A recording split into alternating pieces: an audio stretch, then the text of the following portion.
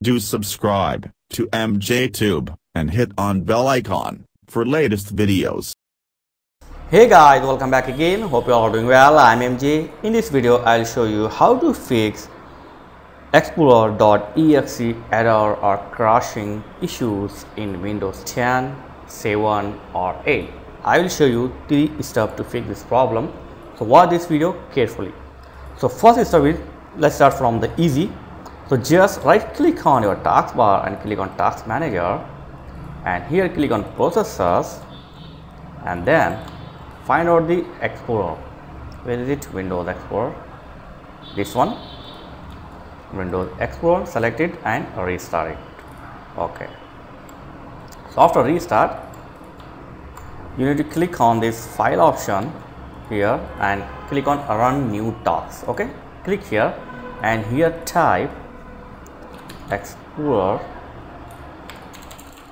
.exe and then click check on create these tasks with the admission privilege and ok it. So this is the first method. After this try to use uh, your pc if still facing problem. The second option is here uh, go to run and type regedit that means register edit open it. Okay and extend the HKEY local machine and then software. Okay under the software you need to search microsoft. Where is microsoft? Here the microsoft. Okay under the microsoft click on windows nt where is it? I think it's lost. Yeah where is it? Windows nt extend this and then extend the current version. Okay good. Under the current version click on win logon. Okay win logon you will get this of some entries. So here you need to search shell. This one shell. Select it modify it and delete this one.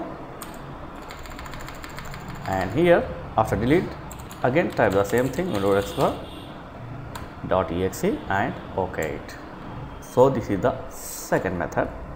And the third method if you are still facing problem the third method third method is extend the current user HKEY current user under the current user select for software. Okay here the software under the software select for classes. Is it okay here the classes extend this. And now search for local setting. Okay. So just type lo you will redirect to local setting. Here this one local setting. Extend this.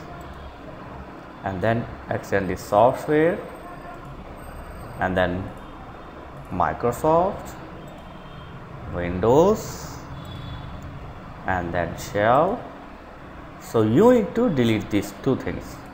Bug m ru and bug just select and delete it okay? Select and delete. And this also bug select and delete.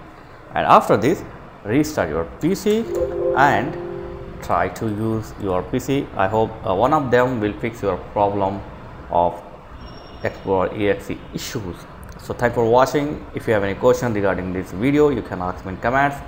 So that's it. Please like share and subscribe. Thank you very much